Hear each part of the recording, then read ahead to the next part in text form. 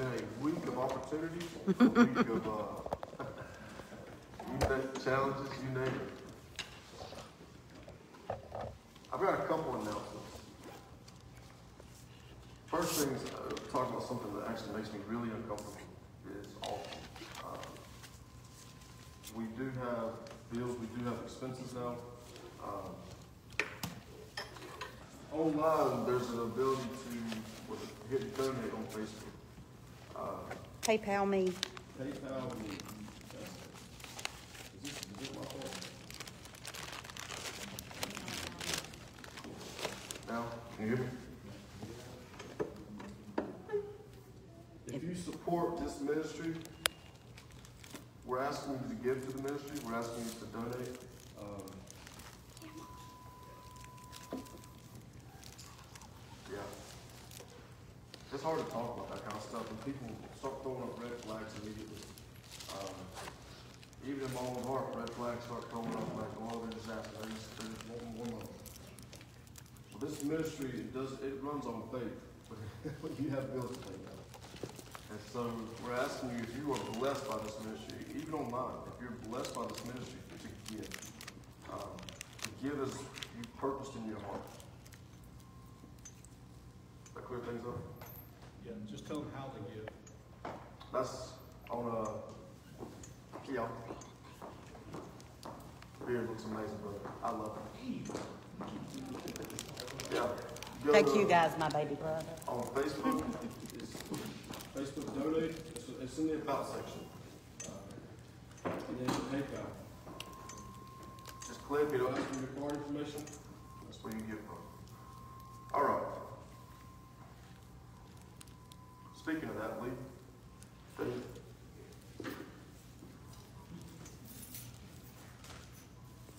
We also have Venmo. I don't know if you said that because I was waving. Venmo, you can find us on Venmo as well. That's a wonderful. We are gonna do communion today. Communion, oh, wait, more announcements, more announcements, oh my goodness, more announcements, okay. Next Sunday, we are doing a dinner here after church. Um, do we decide what we're doing? Do we decide what we're eating next Sunday? It might be ham bologna sandwiches, it might be steaks, we don't know. The church will do the meats Yes, the church will provide the, the meat. and plates and cups and napkins. So Yeah, sides, dessert, something. and if we end up with And more. drinks. What? And drinks. We'll do drinks, yeah? Okay. Okay. Do you want to do a sign-up sheet? Yeah, anybody that's really good at making desserts, that counts as a side. If you want to bring two desserts, that is, that's a, I think it's actually double points in heaven. Extra Right. crown, extra Anybody stone in the good with crown. peach cobbler, apple cobbler? Peach dumplings, or red velvet cake? Um, He, he don't like asking about money, but he's all right with dessert. Absolutely. Thank you. Anything else am I missing? Gleaning, um, friends at Gleaning Mission, we ask y'all to keep them in prayer.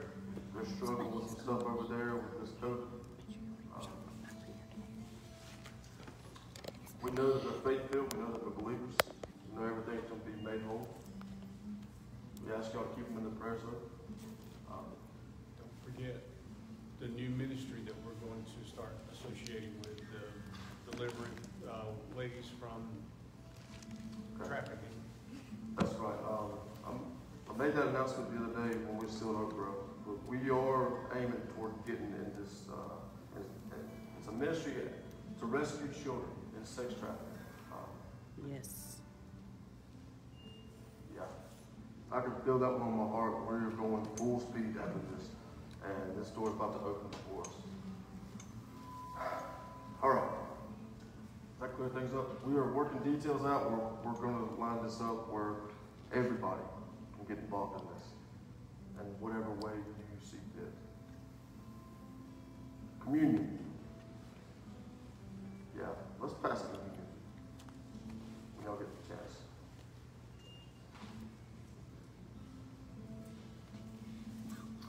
Communion is a contact point of faith.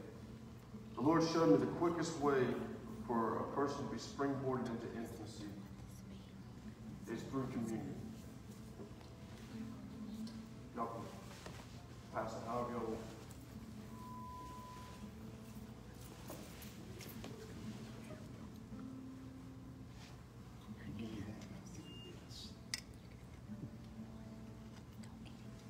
If you're watching on Facebook Live, feel free to go to the fridge and partake with us.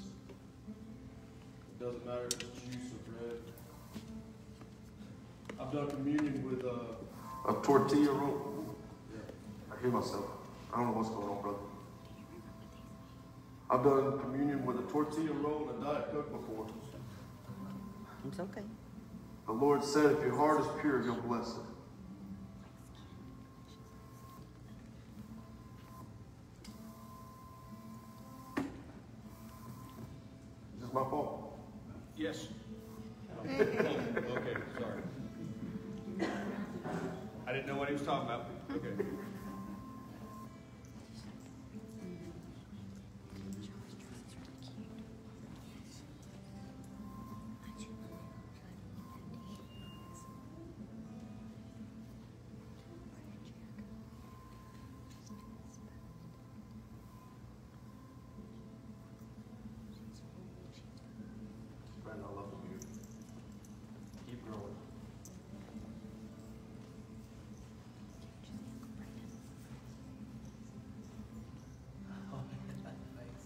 It's like a, like a, a sign of wisdom almost. Just keep growing. Don't, I don't care what anybody says. Keep going.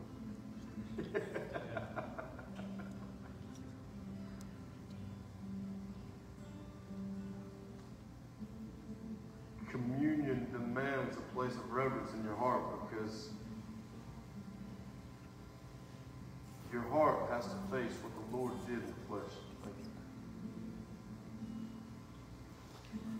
See, the Lord came as a man. The Lord came as a man to, to fulfill what man could not fulfill. The law was put in place so that it exposes sin. So that man could see that we needed a Savior.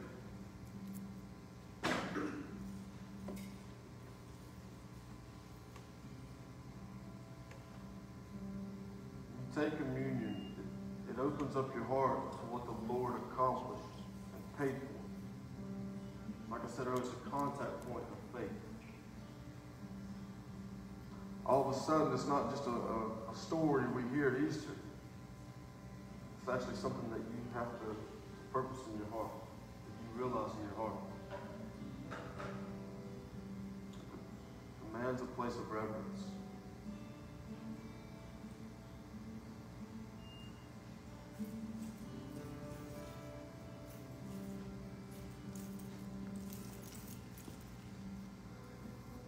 Every time I do communion, over me so heavy. Of what the Lord paid, of what the Lord accomplished, so that He could put His life in us. It was never about a prayer to go to heaven.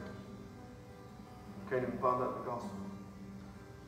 It was about Him setting lost sons and daughters free, bringing sheep back into the fold.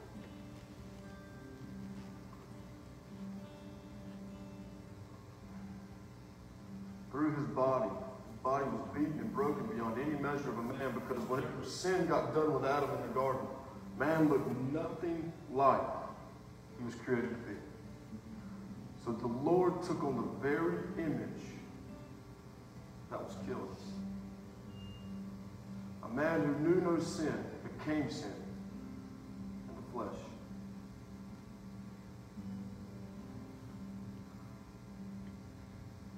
Through the body of Jesus, we have reconciliation, the ministry of reconciliation. That means that the Lord made the relationship right again between God and man.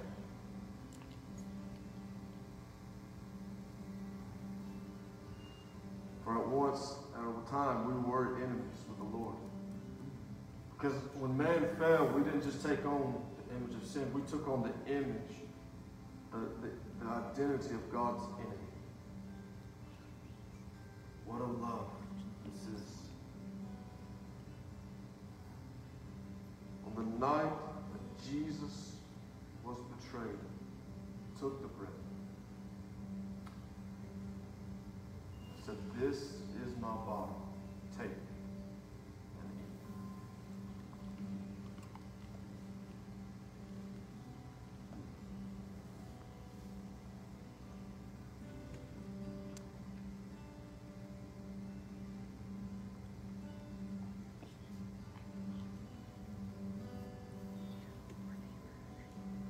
Blood of Jesus has set us free, has washed us clean of everything we've ever done. The blood of Jesus, I think it's in Hebrews where it says he did not want the blood of bulls and goats. He wanted the perfect sacrifice. One that makes us perfected forever. Hebrews 10 14 says. I know, I know what the Lord has washed me from, what He has set me free from. Just like every person in this room has been forgiven of something. That's the beauty of it. It doesn't matter what sin it is. It doesn't matter where at in life. When you're born again, the Lord sees His blood upon your name, and it's always speaking better things over your life. Yes. It says that we have been made right through faith.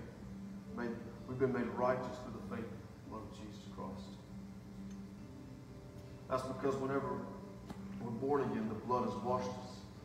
So the Lord will never see us for where we've been. He sees what His Son paid for us to become.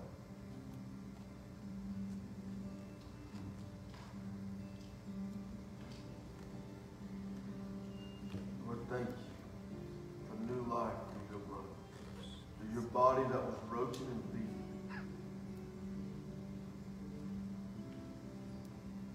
God, I thank you for springboarding our hearts into intimacy, into relationship with you today. Holy Spirit, stir our hearts.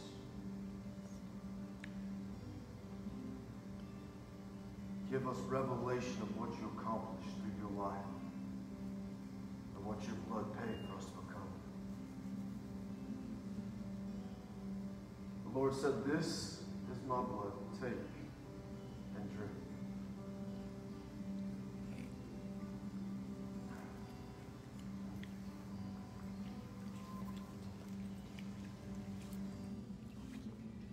Amen. Thank you, Jesus, for, for your sacrifice. Amen. And because of that, we can enter into joy, right? Amen. Um, if y'all will stand with me today, um, we're going to sing a Christmas carol. Any anytime I get to, to sing a Christmas carol, I'm so happy. So I'm thankful for this Christmas season. But we're going to sing joy unto Him today. So Joy to the World. Amen.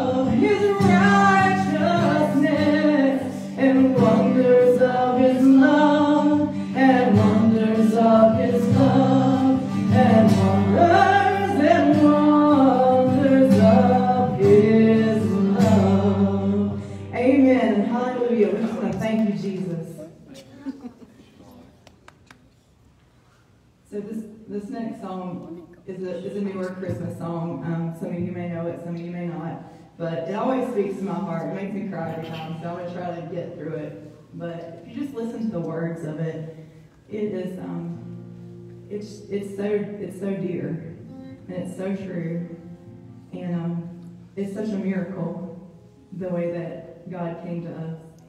right? Love incarnate, love divine, star and angels gave a sign. Bow to babe on bended knee, the Savior of humanity.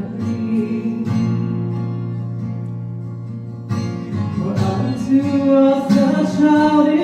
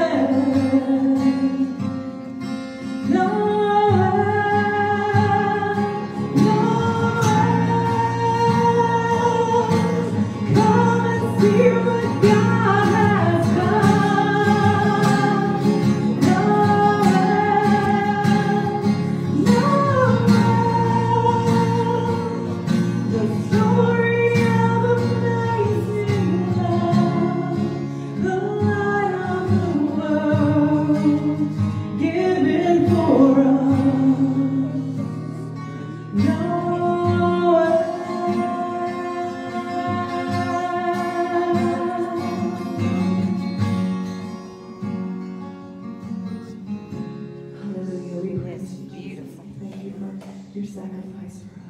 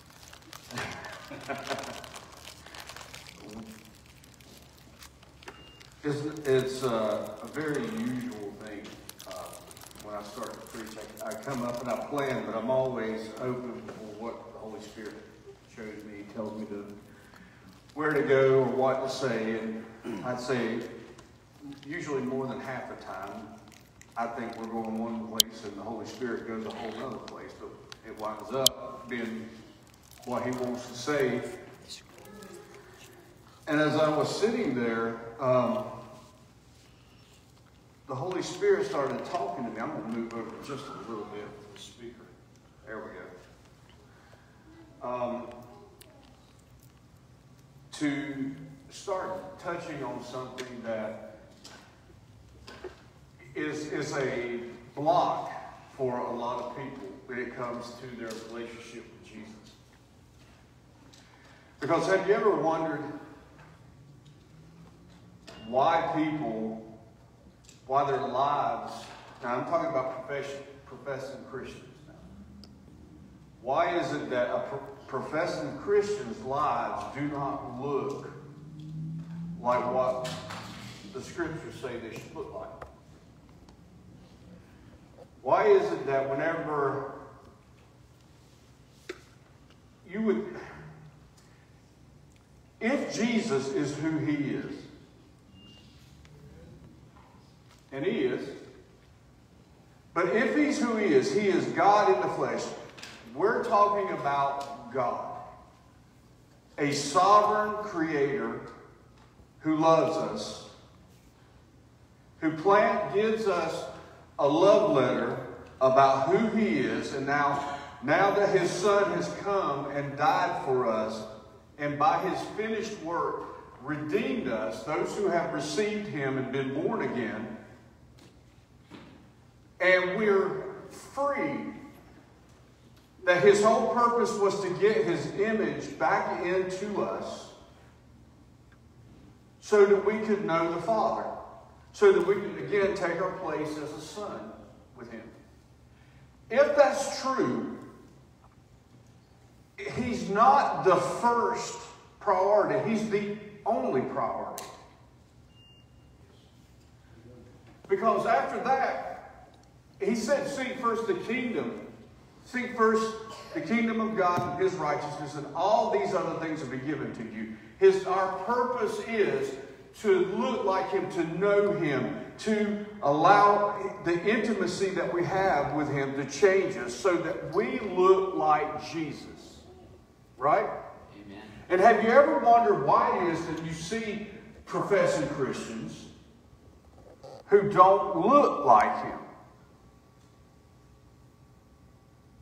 And sometimes I wonder if it's not that we have a lot of times enough understanding of that I am a sinner and I need a Savior and have enough faith given to us by God to be born again, but that's where we stop.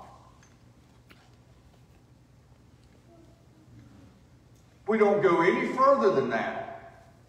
Because outside of intimacy, everything about God, everything that you learn in here, you're going to look at it the wrong way. And this is why you see often this taught in churches all across the country. It's taught as a principle or a means to live by or something to try to attain rather than who you've been made in Him. Instead of seeing the scriptures as being, this is where I'm heading, this is the fullness of God that is being birthed in me.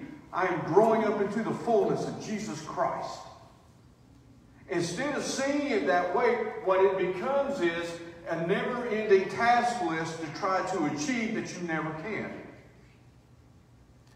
And then you go to church on Sundays and you're taught principles. It's like a self help class. Right?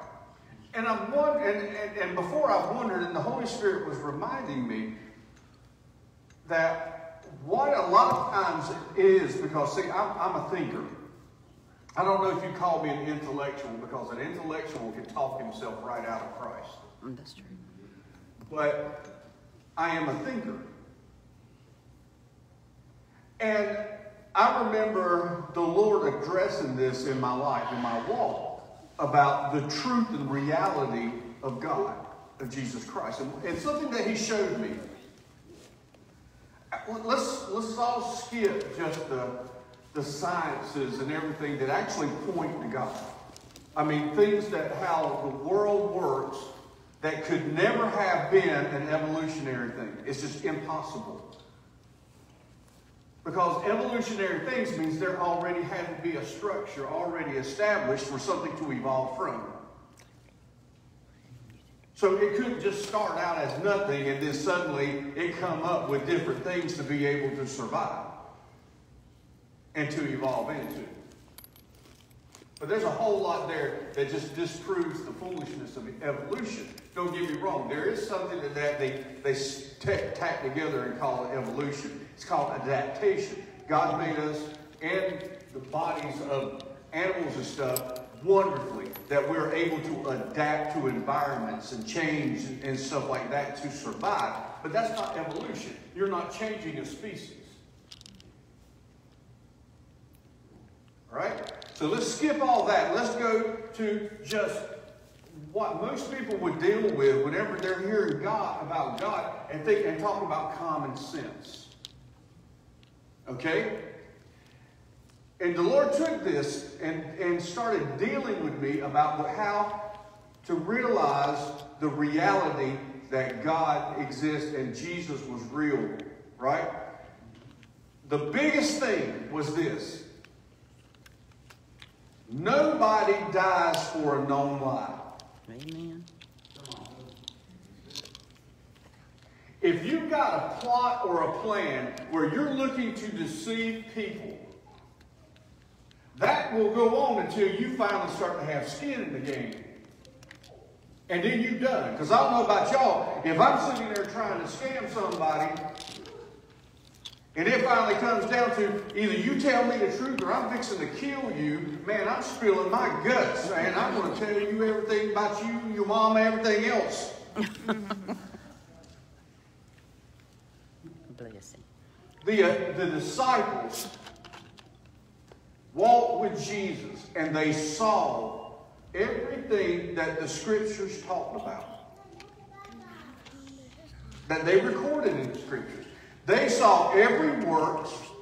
They saw all the miracles. They saw the crucifixion.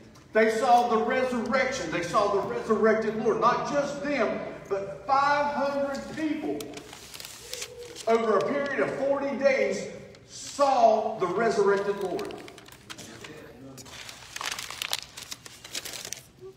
And I've watched and I've listened to all, you know, as you go through school, you start listening, you start seeing, well, here's the things that people try to say to make it not true, you know, or to, to come up with, you know, the, the swoon theory and, uh, you know, the fake theory. The swoon theory is uh, Jesus just looked like he died.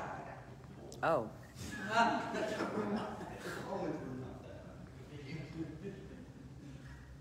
But you see, here's the problem. The biggest one that you hear is that it was just all fake. That it all, the whole thing was a lie and a fake. Okay? Every disciple died a horrific death for Christ. Every one of them died a horrific death. With the exception of one, and that was John, which they tried to kill him. They tried to boil him in oil to kill him, and he wouldn't die. So they took him and banished him to the Isle of Patmos, which was basically a prison island, to live out the rest of his life there and die there because they couldn't kill him. I really believe that they couldn't kill him because he would not abandon Jesus at the cross. He was the only one that stayed with him, the, uh, the disciples that stayed with him the whole time. See, now these are men. See, now you got to understand something. These are not born again men yet. They believe him who he is, but they're still messed up men. When all of this, when they came and got Jesus, the Romans wasn't playing around. Romans knew how to crucify people. They got it from the Japanese and then they improved on it. Their whole purpose was to make people suffer. It wasn't just to kill somebody, it was to make an example of somebody. So that the next person who thought about doing that would think about how bad that was and don't do it. So they wanted you to suffer on the cross for days.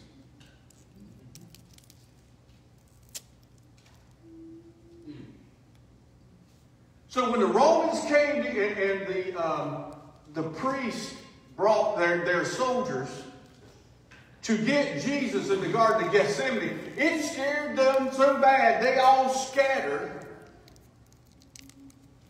One so much so that he run out of his clothes. That's running.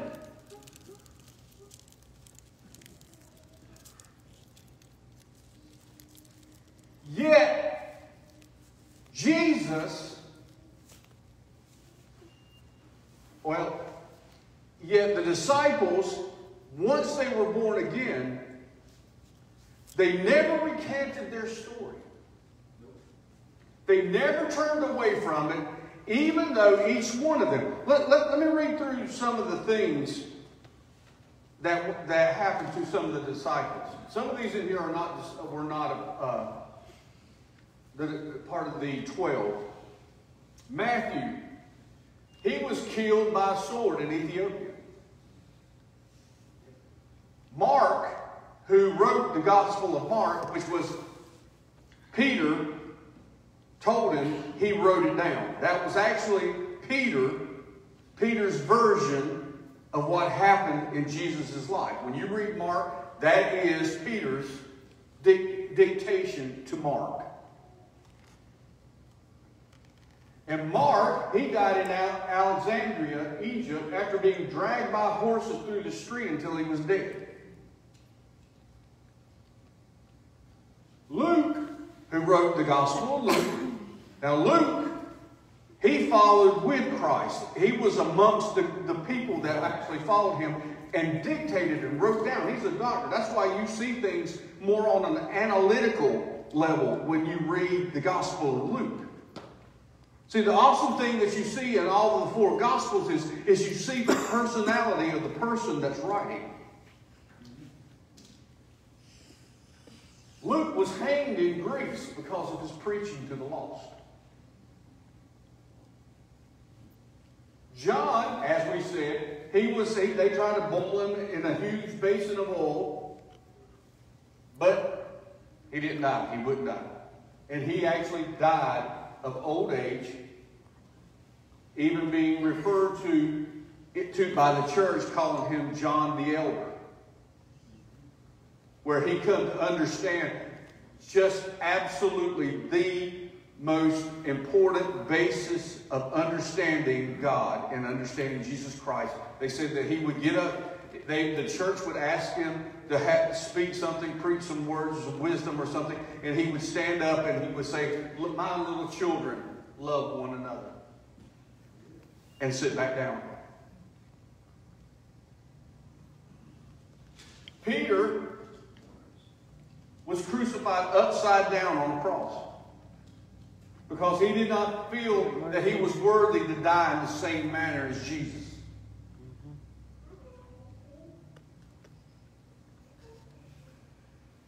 Church history says that his wife was crucified right before him. And his last words to her was, Remember the Lord.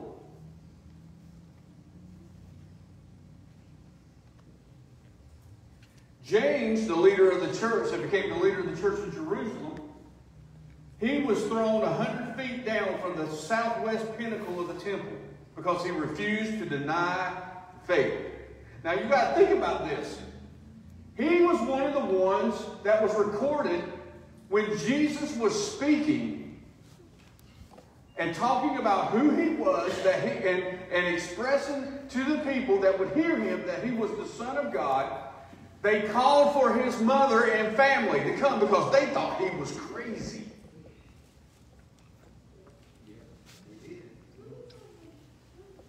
They came to get him. Now you see what happens after being born again.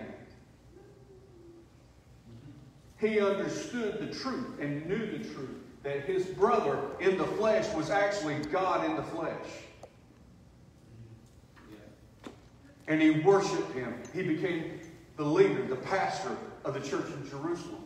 And whenever they came to him, he would not deny the faith. And they killed him for it. James, the son of Zebedee, he was a fisherman by trade, and when Jesus called him, he was beheaded in Jerusalem because he would not deny the faith. Bartholomew became a missionary to Asia. He was whipped to death.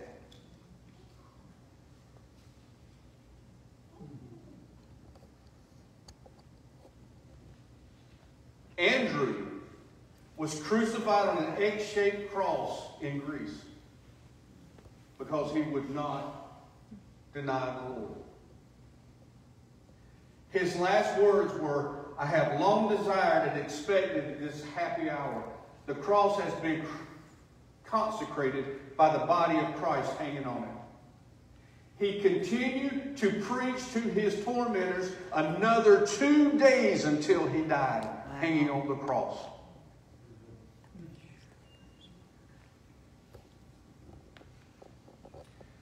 Thomas was stabbed with a spear in India during his missionary trip there. Jude was killed with arrows when he refused to deny his faith in Christ. Matthias was stoned and then beheaded. Matthias, if you don't know who that is, is the one who replaced Judas Iscariot.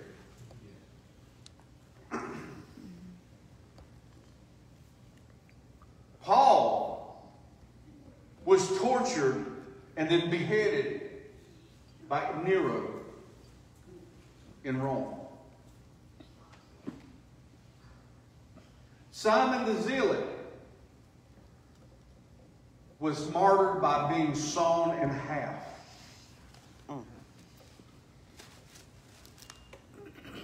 Philip, while he was evangelizing in Phrygia, they tortured and then crucified him upside down.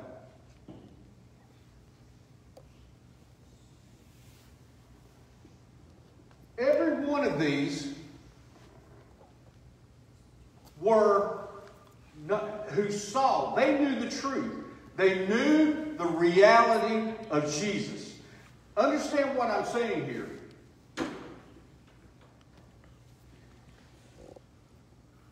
They knew it was all true.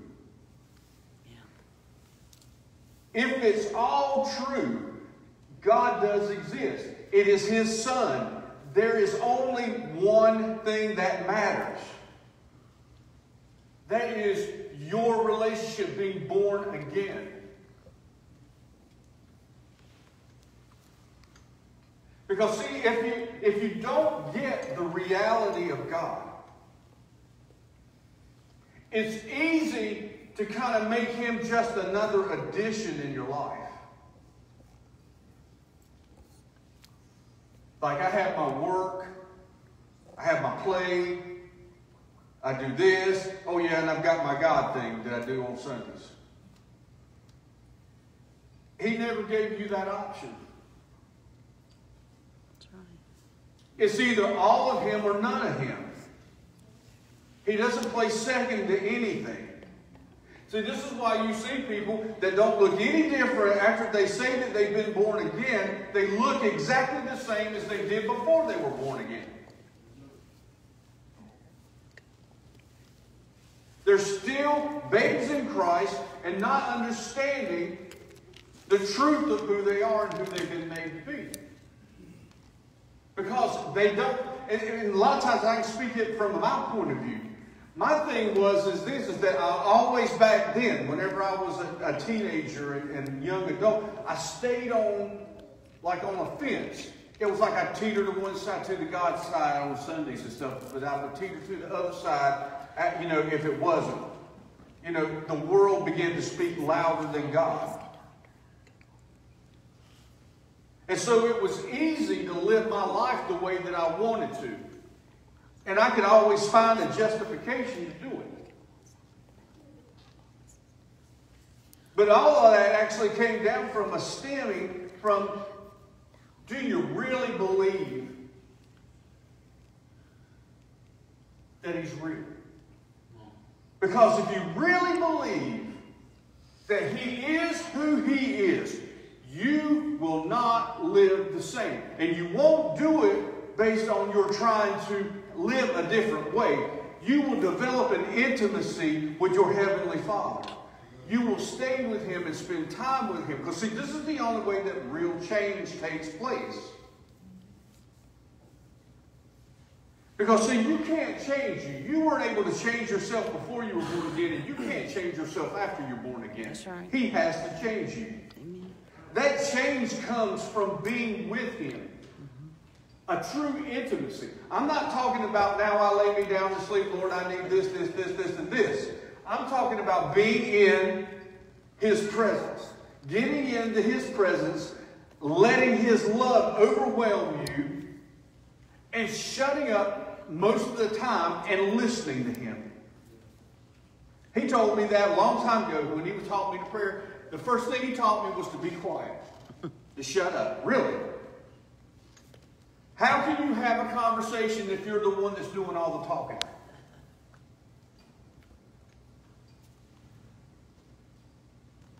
But that's how most of us have been used to praying. We have our petition, we'll have our prayer list, we'll have all these things that we want to talk about to God, and yet we never give God an opportunity to talk back to us. Maybe instead of Him talking back to us, we start off being quiet and let Him start the conversation.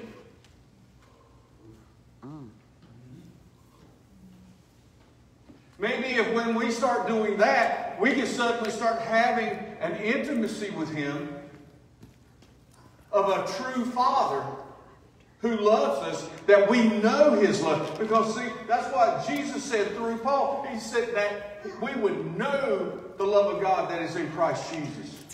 That we would know the depth, the height, the breadth, the width. Because, see, if you don't know this, if you don't understand this, you will try to live your life based on a principle rather than a relationship. The intimacy is what changes you. It is what makes the relationship. It is what those things that you sit there and you struggled with that you want to be free from, that you never could be free from, suddenly they're gone because he says, I will give you the desires of your heart. Not that he's you're going, hey, I want a new Harley. That's not the desires he's talking about. He's saying, I will give you the desires. The desires that you have now in you that you want, those are lined up with mine. I will give you those desires.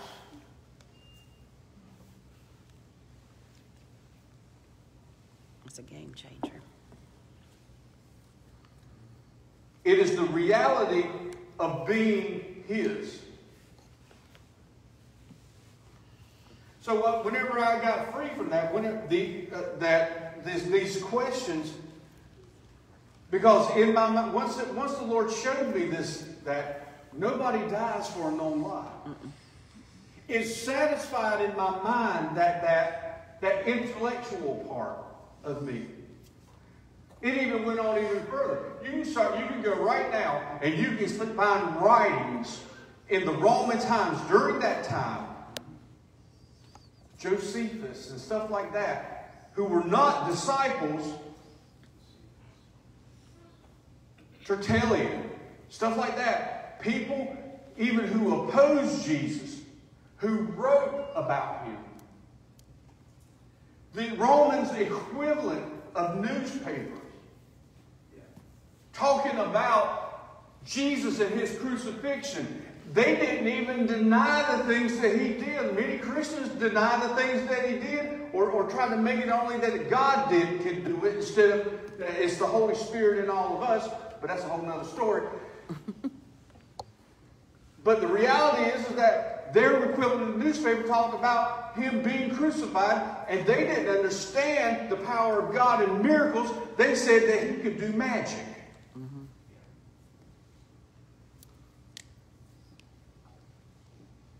So if they're saying that he could do magic, then guess what? He was really doing miracles. Tertullian would go say, talk about whenever they were going out and, and, and chasing down believers. The, that he would bring, when they would, he notated that to the emperor. When they, because see, you got to understand what they were doing. The Romans, their, their want was not to kill everybody. They wanted to stamp out Christianity. They wanted to stamp out anything to do with Jesus. So what they would do is, is that they would arrest people that were Christians or accused of being Christians, and then they would interrogate them, and if you would sign and renounce your faith or deny your faith, they would set you free. You could go on. And he made a note to the, to the emperor. He said, Those who are truly the followers of Jesus, no matter what you do, will not renounce their faith.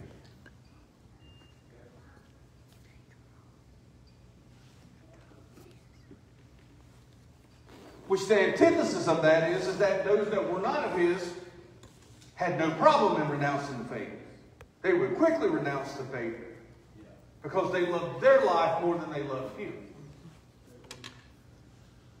See, Christians, the Christians today in this country particularly have to come back to a foundation of loving him more than they love their own life.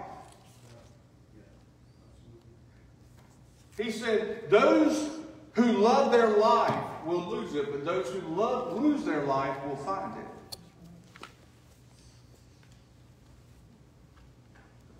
In other words, if you love your life more than Him, you're going to lose it. You're going to lose your life.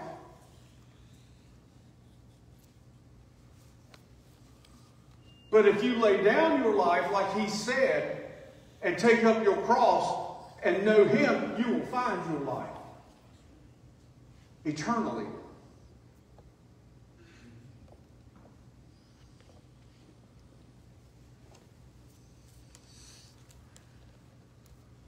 The intimacy with the Father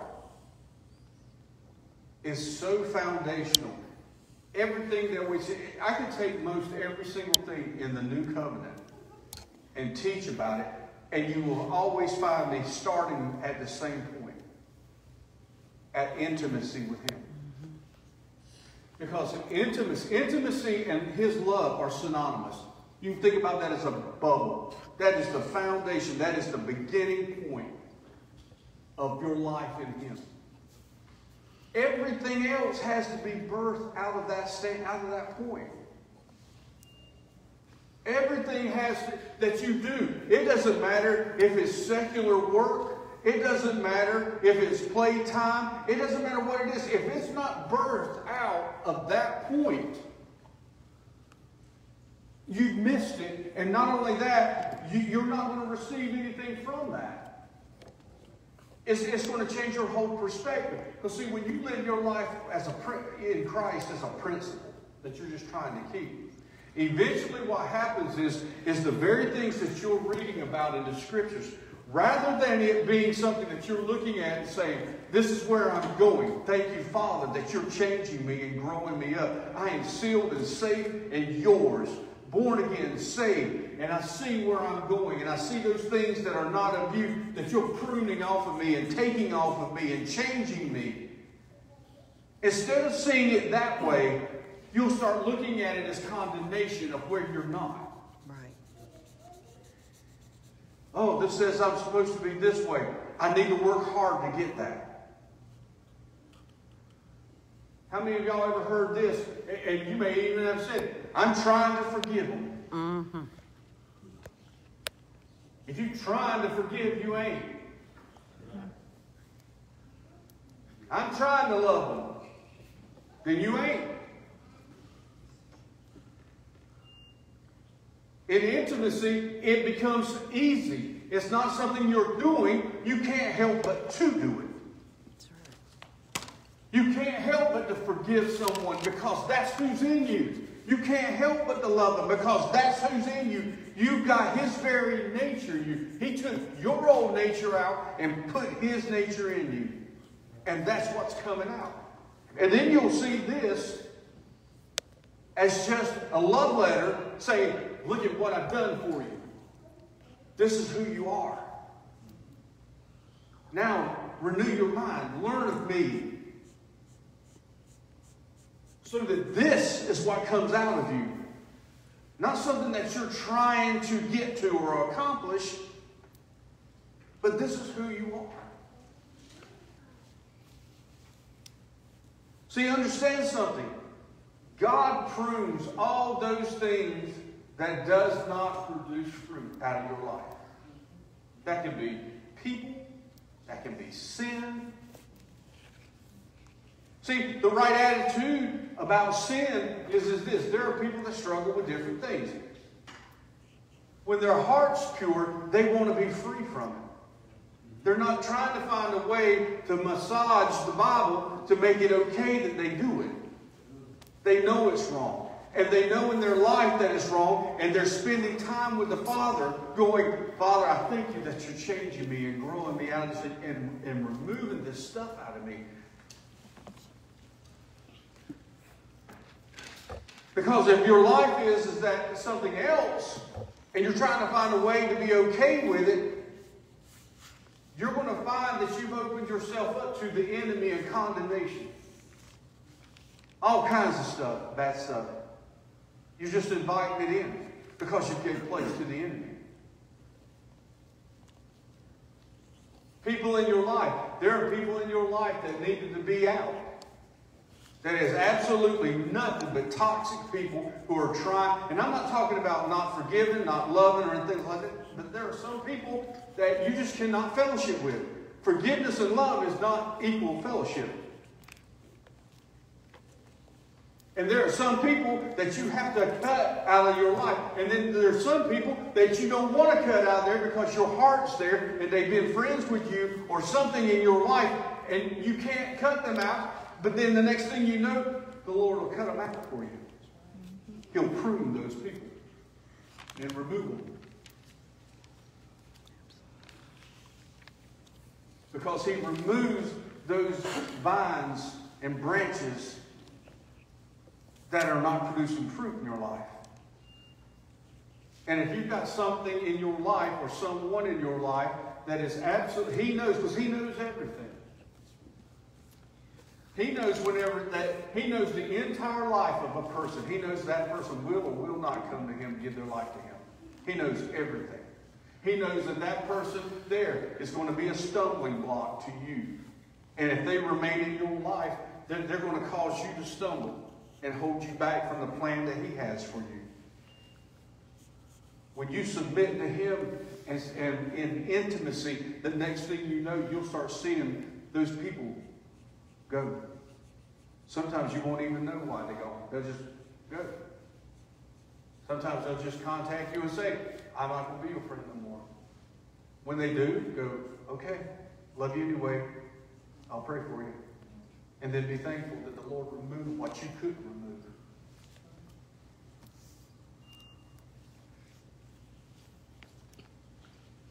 See, there is a God is real. He is absolutely 100% real. The great deception is that that has been that has fallen over this world is that he isn't real. Because see, if he's not real, there is no morality. That's why you see people who are atheists and stuff like that, or people who just want to, to deny the real God. Because there is no morality except what morality you decide. Mm. You become your own God, and truth becomes relative. That's good. That's why there's such a fight. You ever wondered why atheists who claim that they do not believe in God fight so hard against God? That don't cross anybody's mind. I mean, I don't believe in Pinocchio, but if you believed in Pinocchio, I'm not going to go plaster billboards all over the place and I'm going to go to the courts and try to find ways to stop you from believing in Pinocchio. I'm just going to roll my eyes and go, Well then.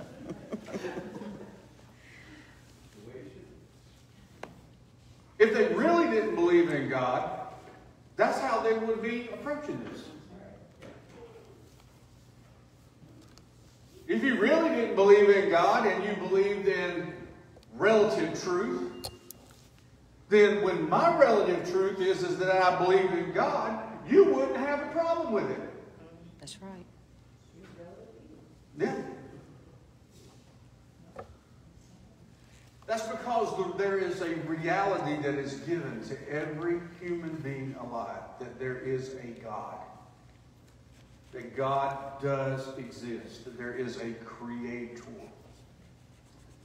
That's because why you will find throughout society, as far back as you can find, even societies that did not believe in the one true God came up with gods. This is before science started trying to say that there wasn't a God and all this other mess. Left to their own, in their own selves, they knew there has to be something greater than me. Absolutely. Because that is inbred in every person that is alive. Because they know in their hearts there is a God.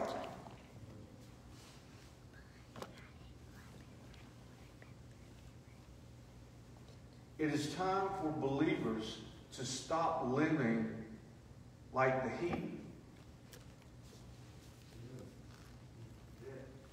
Because the heathen did, does the same thing that what a lot of believers do.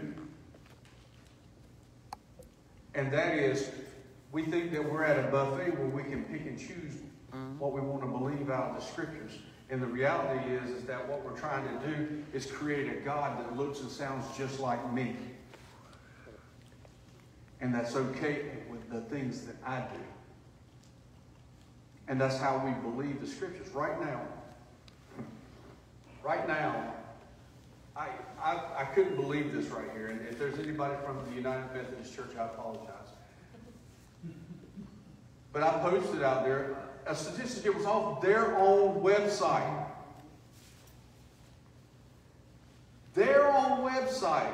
There was a study done in the United Methodist Church. And they separated it into two classes, conservative and liberal. And they asked each side, they asked a, a, a groups from each one. And asked the liberals, it says, what is the number one influence for your theology?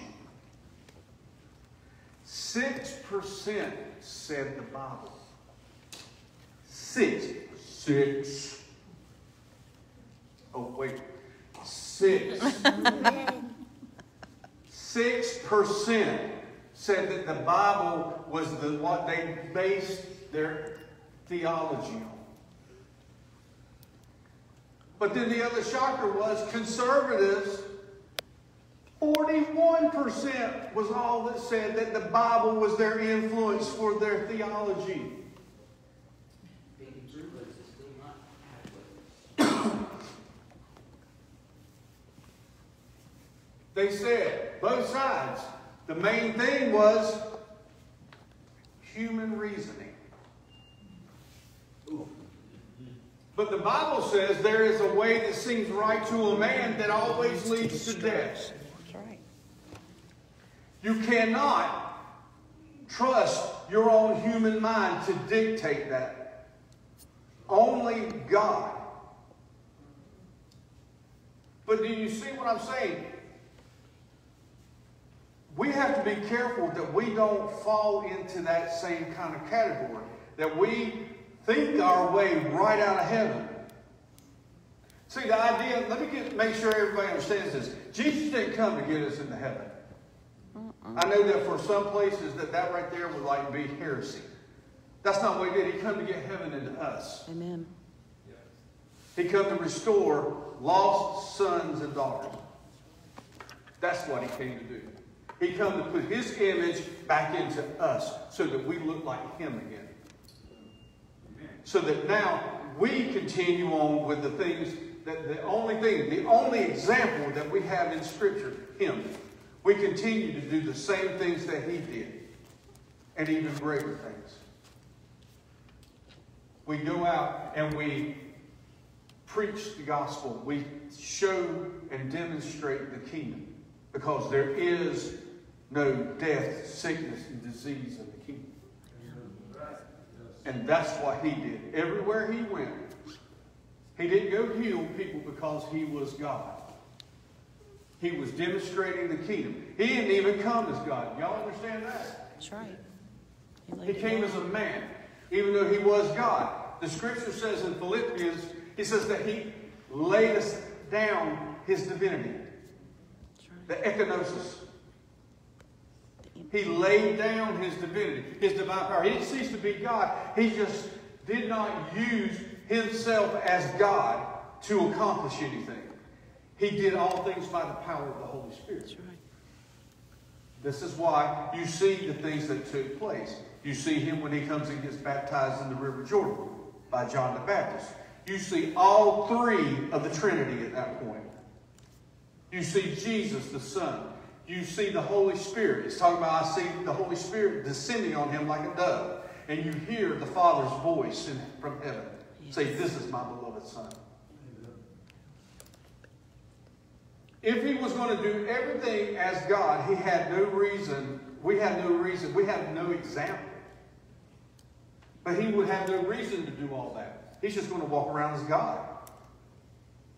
But he did all things by the power of the Holy Spirit. He didn't need to do that, he was God. He even made that clear whenever they come to take him in the Garden of Gethsemane. And Peter tried to crush a man's head with a sword. Wound up zipping off his ear instead. Jesus popped it back on. In the midst of all that. But he says, Don't you know that I could call ten legions of angels to set me free? They couldn't take him if he didn't want them to. He said, No man takes my life. This is the kicker. No man takes my life, I lay it down willingly.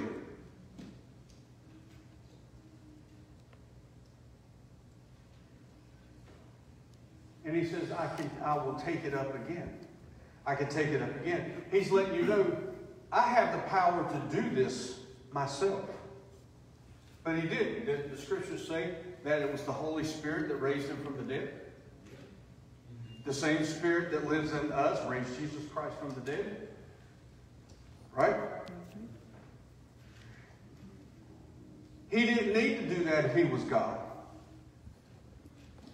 Or doing everything as God. So why would he do all that?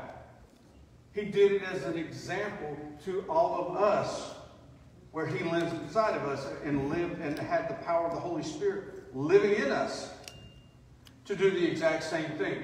We go out and follow the same example that Jesus did. We go out and we spread the kingdom. We expand the kingdom. And the kingdom has no death, no disease. It has life. This is what it looks like. When we go lay hands on the sick, it's because when we go up, we say, the kingdom is come upon you. They see what the kingdom in him looks like. That's what's in us. The kingdom is in us now. This is how believers are supposed to look. Believers, if, if you look like you did before you were born again, you need to get with the Father. You need to examine yourself. Because I'm going to tell you what, you don't get, God, God's not, because of Jesus, is not going wink, wink, nudge, nudge. I want to forget, you know, I'm, I'm okay with sin now. I'm okay with everything the way that it, that- living in, in sin or, or doing sins and, and things like that. And, and I'm not talking about people who are struggling with something and want to be free. That's a whole different thing. Your heart can be pure in God and struggling with something, and your heart cries out to Him. Even after you've done something and you want to be free from it. That's why you get into intimacy with Him, and He changes that. It ain't about just being baptized. Baptized don't save anybody. Baptism is an outward confession of what's happened. It isn't a confession, as a matter of fact. You got baptized in the days of Christ. That was a target on your back now. You could have been killed for just being baptized.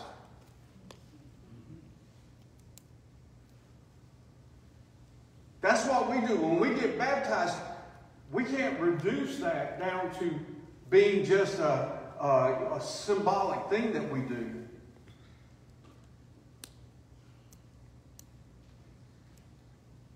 We are relating to the death, burial, and resurrection. And we're, it is a confession to that. That when you come up, you are new in Him. But the baptism isn't what made you new, it was Him and His finished work.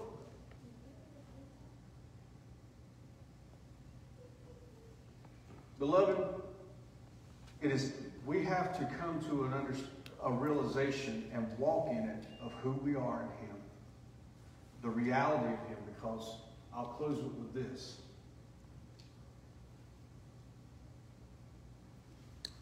the reality is that if you don't know the reality of Christ, you're always going to treat some, Him as like a fictional character.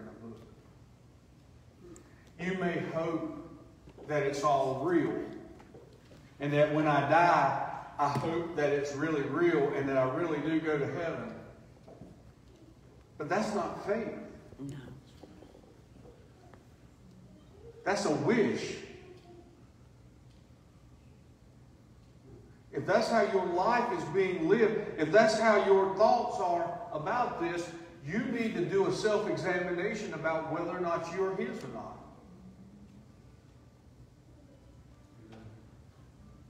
Because I'm going to tell you what, I've seen plenty of people that were not born again that were just genuinely nice people, good hearted people. And if you didn't know that they weren't born again, you would think that they were. Just because that's how that's their demeanor. But unfortunately, there's plenty of people that are really nice people that bust hell wide open every single day. Nice don't get you to heaven. Nice don't make you born again. Kindness is, is a byproduct of being His. But you can be nice because even the Father, even the Lord said that whenever He was talking about the baptism of the Holy Spirit.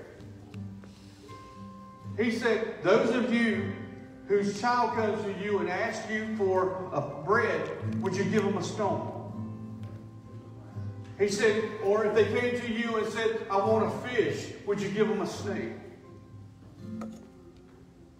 He said, Those of you who are evil, now get this, those of you who are evil know how to do good things for your children. How much more will your Heavenly Father give the Holy Spirit to those who ask Him? So, in that, there's a whole lot of lesson in that. But one of those lessons is He's making claim that's very plain. You can be evil and still do good deeds. You can still not be of Him and do good deeds. It's meaningless because He said your good works are as filthy rags to Him when you're not born again. But what it, the, from an appearance side of it, you can be uh, not born again and still do good things. You see people do that all the time. Giving to good causes and going out and help build, you know, houses for people who need them and stuff like that. Doing good things doesn't make you born again.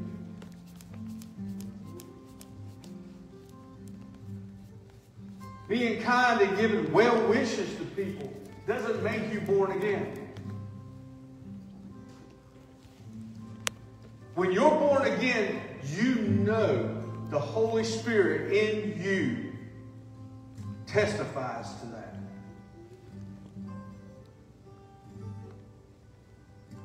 Now, don't get me wrong, I don't want to be throwing condemnation on somebody that is born again. Understand that if you're living a life that looks nothing, doesn't look like Christ, it looks just like it did before you're born again. You, it's possible to be born again and absolutely worldly, not knowing who you are. As Paul said, like a man that looks in the mirror and sees who he is, and then when he walks away, he immediately forgets what he looks like.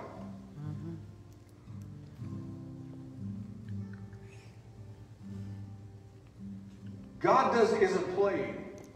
He's serious. He's, his son died to redeem us. So he's not playing with sin. He's not okay with sin.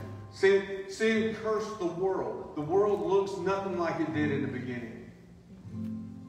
Man, unregenerated, looks nothing, just like Casey said, looks nothing like he did whenever he was whenever he was first created.